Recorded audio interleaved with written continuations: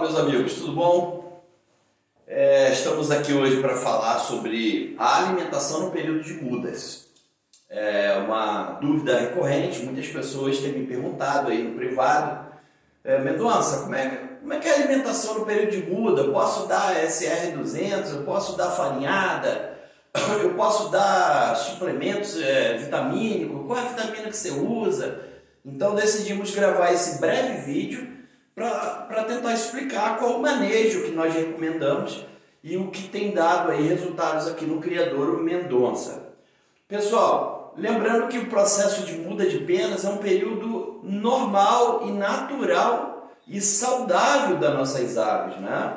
As penas elas, têm uma, uma importância fundamental para o voo, proteção da ave, é, para a beleza, para atrair as fêmeas, no caso dos machos, sua coloração e etc. Então, é, as penas são muito importantes. Então, a troca anual dessas penas é vital para a saúde das nossas aves, para a sobrevivência das nossas aves.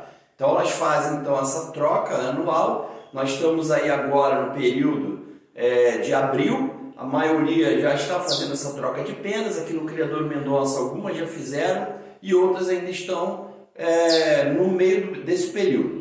Então esse momento é um momento natural. A ave na muda ela não é doente. Tem gente que acha que a muda de penas é doença. Não é. É uma situação natural, mas é, requer alguns cuidados. No caso das nossas aves em ambiente doméstico, cabe a nós a responsabilidade de proporcionar é, essa mudança, esse período de troca de penas, de uma forma mais saudável e mais facilitada possível, certo? Então, esse é o primeiro conceito, é uma situação natural. Lá na natureza, eles procuram balancear a sua alimentação, eles procuram se juntar em bandos para poder migrar para lugares mais quentes né? e fazem então os seus banhos quando é necessário. Eles na natureza têm todo o seu equilíbrio é, em sintonia com a natureza. Então tem muita gente que às vezes faz esse comparativo. Mas Mendonça, mas na natureza acontece isso. Gente, não queira comparar uma ave na natureza com a ave em ambiente doméstico. A ave natureza ela está em completa simbiose, ou seja, completa harmonia com o meio que ela vive. Então ela consegue comer uma minhoca lá da terra é, que veio do estrume e depois ela consegue buscar de repente uma erva ou um, um antitóxico, um, um, mineral antitóxico, que ela sabe que vai balancear aquilo ali, certo? Diferentemente da gaiola, que ela não tem essa liberdade. Então cabe a nós, criador, criadores, proporcionar é, é, essa estabilidade é, da saúde das nossas aves, ok? Vamos lá, nutrição. Então, esse período, ao contrário de que muitos acham, é, acho que nesse período de mudas não tem que ficar dando alimentação a mais, né? não, tem que, não tem que se ligar para a alimentação. É lamentável que alguns criadores, infelizmente, nesse período que a sua ave está mudando as penas, ela não canta, ela não reproduz. E aí o criador tem de abandonar essa ave, abandonar, descuidar do trato dessa ave. E é muito pelo contrário. É nesse período que você vai preparar a sua ave para o torneio, é nesse período que você vai preparar o seu plantel para uma reprodução é, com qualidade, com excelência, na época da primavera e verão. Então não devemos descuidar. Então, nesse período, é preciso sim uma suplementação alimentar. Suplementação de que maneira, Mendonça? Como é que você faz? Qual é a vitamina que você dá na água para ele? Você dá um, um um ferro SM, você dá um, um, é, um hidrovite, um fertivite, sei lá, seja lá o que você pensar aí. Não, o Criador Mendonça não dá nenhum suplemento na água. Raras exceções, após um tratamento ou outro, dou um VitaGold, mas apenas para desintoxicar as aves, mas não com objetivo de suplementação. Então, vale aquele conceito que nós sempre, sempre explicamos e pregamos e defendemos. Se você oferece para a sua ave uma ração balanceada, uma alimentação balanceada com todos os nutrientes, não precisa acrescentar nenhuma, nenhum suplemento na água vitaminas, não há necessidade. Não há necessidade. Como que nós fazemos aqui? Mantemos a ração natural enquanto as penas estão, as estão fazendo muda. Então aqui eu tenho a natural curió. É essa aqui que a gente usa sempre na gaiola o ano todo. Então você vai usar a natural é, trinca-ferro, você vai usar a natural coleiro, né? ou é, a que você tiver, a ave que você tiver. Então essa aqui serve para o azulão, o curió, né? o tico-tico e etc. A coleiro serve para o tizil, para o coleiro e outras, bigodinho e assim por diante. Então aquela ali sempre na, na gaiola. Agora, uma ração de uma, uma proteína a mais, que seria essa aqui, ó, a SR200, que tem 20% de proteína. Então existe a 240, que é indicada para pássaros maiores, que tem um grânulo maior, que é para ter café, é, sabiá e assim por diante. Mas eu uso, então, no período de muda, tá? Se você ler o rótulo da ração, você vai ver, está escrito que é para ser usada em momentos de estresse, momentos que a ave mais necessita. E a muda é uma, um período desse. Então essa aqui é uma suplementação, tá?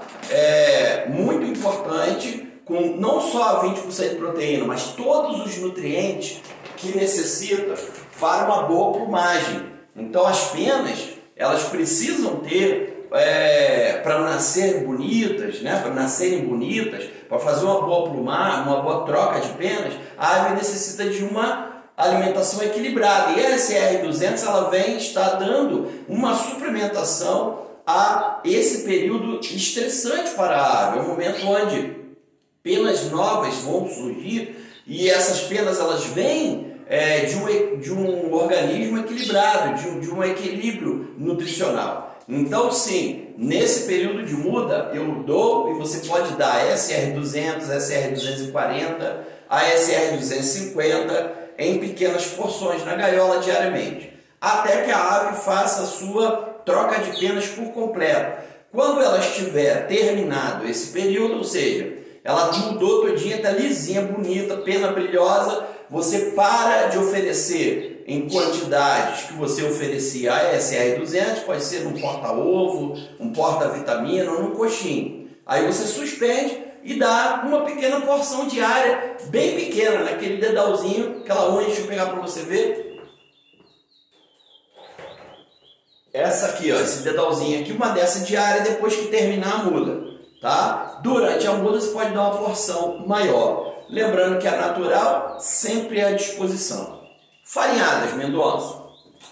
Nós utilizamos essa farinhada com ovos, tá? Essa farinhada com ovos você não deve usar o ano todo e no período de muda você deve dar pelo menos duas vezes por semana. Mais que isso, evite, porque ela tem um, um, um valor calórico bem grande para o período principalmente de reprodução, para fêmeas alimentares filhotes e aves que estão competindo em torneios. Então essa ração, essa farinhada com ovos, duas vezes por semana é o suficiente, ok? Não há necessidade de acrescentar ovo cozido, mas o criador Mendonça acrescenta o ovo cozido. Então duas vezes por semana para que você não é, não deixe que, é, permita que a sua ave ganhe um sobrepeso, venha engordar demais, ok? Muito bem? Agora, Mendonça, eu dou semente para aves. Aí como é que eu dou isso aí? Aí é complicado. Se a sua ave come basicamente semente, realmente ela vai ficar desnutrida. Aí você vai ter que oferecer Vitagold, é, Minomix, FRSM e outros suplementos na água, porque realmente a, ração, a semente ela é pobre em nutrientes. Mas você pode suplementar tá? com a SR, as SR. Então, seja patrincafel, curió, colheiro, tizil, bicudo, seja o que for, sabiá, pode oferecer a linha Nutrition da Select juntamente com as sementes. Mendonça, você nunca dá semente? Muita gente me pergunta isso. Você olhar todos os meus vídeos, que são mais de 50 já, todos os meus vídeos que nós falamos, anteriormente, eu nunca disse que dá, não dê, dê zero semente. Eu falo sempre que dá uma pequena porção de semente de vez em quando, para agrado da ave, tá? Elas gostam, porque elas gostam, tem um teor de gordura muito alto, Então é viciante, assim como você gosta de chocolate, você gosta de sorvete, as aves também gostam dessas sementes que nós damos. Lembrando que as sementes que as aves comem na natureza não é alpiste, nem painço, nem milho-alvo. Lá é braquiária, é capim colonial, tudo de forma in natura, verde, aquelas sementes verdinhas.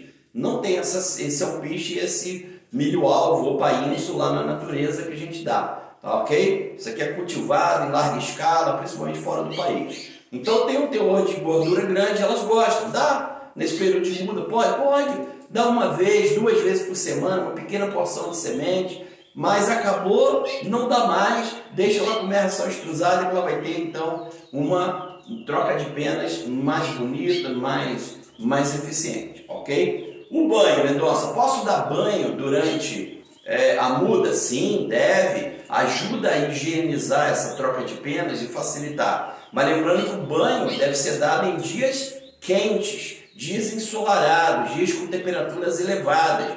Cuidado principalmente quem mora na região sudeste e sul, onde no, no outono e inverno tem dias, semanas frias. nesses, nesses períodos você não deve dar banho nas suas áreas. Mas em locais onde nordeste, norte, pode dar banho sim diariamente, três vezes por semana, quatro vezes por semana Pode dar sim, porque é muito importante para as aves. Outra coisa, as aves abrigadas, nesse período de outono e inverno, se entrar uma frente fria, se entrar, baixar a temperatura, tem que estar num ambiente fechado, livre de vento, livre da friagem, ok? Pessoal do sul, à noite principalmente, usar um aquecedor dentro do criatório, igual eu uso. Já falei isso aí sobre, vou deixar o link aí para vocês, sobre temperatura ambiente do criatório, certo? Mas mesmo o pessoal do norte e nordeste evite no período de muda aves, corrente de vento, corrente de ar, ok? E outra coisa importantíssima, higienização. Esse período para quem reproduz, para quem tem ave de torneio, esse período aí da muda de penas é um momento ideal para você fazer uma higiene total na sala de criação, nas gaiolas troca a ave de gaiola, faz uma higienização com sabão, água diluída com cloro, esfrega tudo, lava, lava prateleira, lava parede, lava piso, lava tudo, lava tudo.